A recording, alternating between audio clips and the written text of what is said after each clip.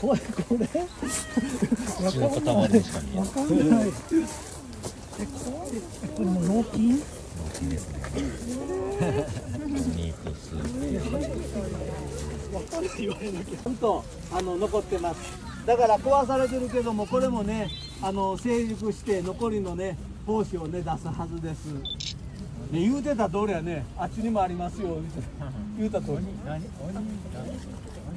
オニフスベはい。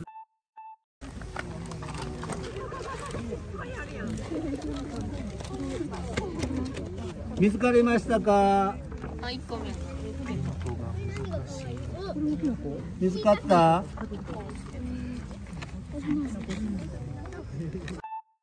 もあるしね。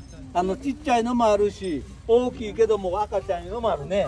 はい。はいこれもねあの潰されてるけどね。天狗竹あのお母さんにね小さい頃。はいこれも天狗竹の仲間。はい。おお上にも出た。ええとこに出たね。全くね種類が違うやつであの昔柳の木に出た美味しいキノコを言ってつけたんやろね。柳だけちゃいますよ。あの今んとこね、えー広葉樹。いろんな広葉樹に出ます。ココアのようなちょっと甘ったるい匂いします。ね、えーこれはあの街路樹にもよく出ます。ね、あのー京都御苑は採取禁止なんですけどね。出てるなあ。かわいいな。私キノコ目やからな、ちゃんとキノコ目いるな。イボテングタケって言える特徴があります。さっきのはもう古かったからね、テングタケの仲間と言いましたけれども、これはイボテングタケで大丈夫だと思います。というのは、ツルタケは袋状の壺、地面のとこついたやつね。これはカブラ状の壺。カブラのようにポコッと膨らんでるの。下の方がね。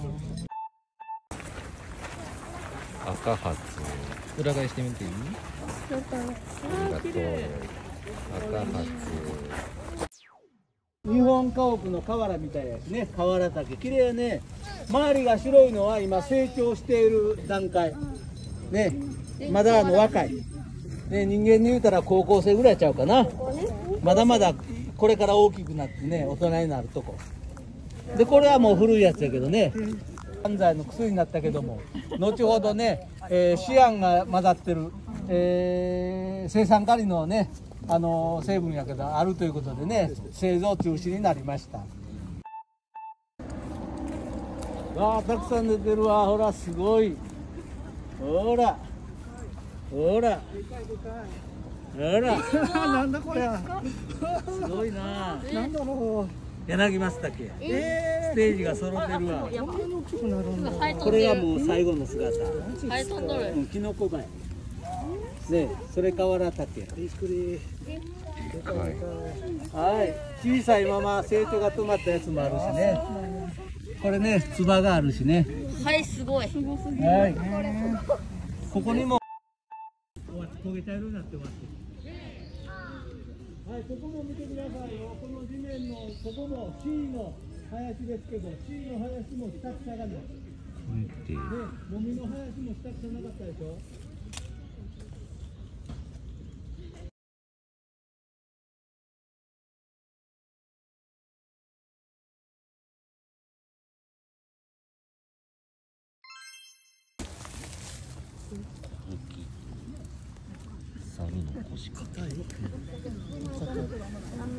ほらこれオレンジ色な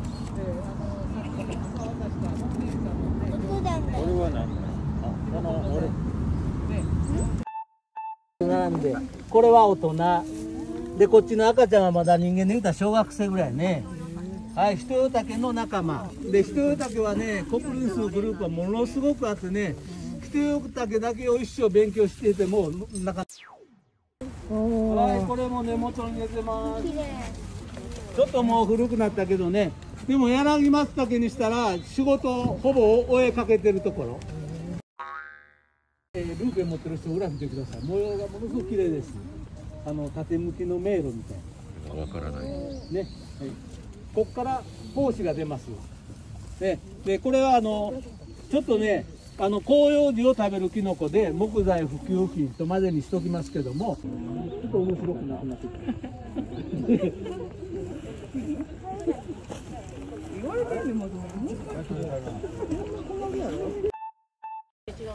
小吹き猿の腰掛け。あ、そこはあんまり触らんといてあげて。この白いとこはいわば生殖器官。こここから子孫を残す胞子を落とするから、この生殖器官を触ってあげると、そこは死んでしまって、もう胞子を出せなく。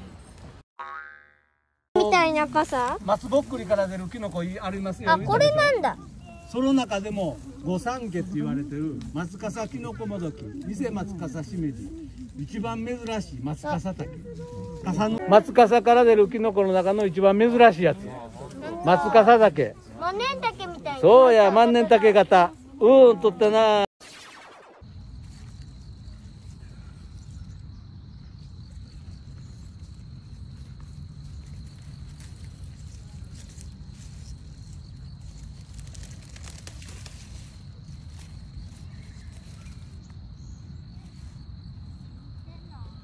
奈良竹もどきやんあそうなんです。ただトンボ池ではあのお会いしたことあります。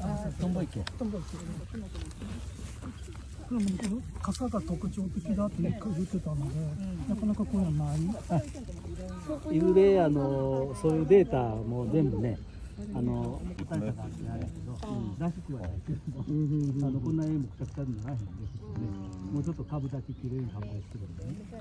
でも、多分このつばも、あの、多分こっちの方だと思いますね。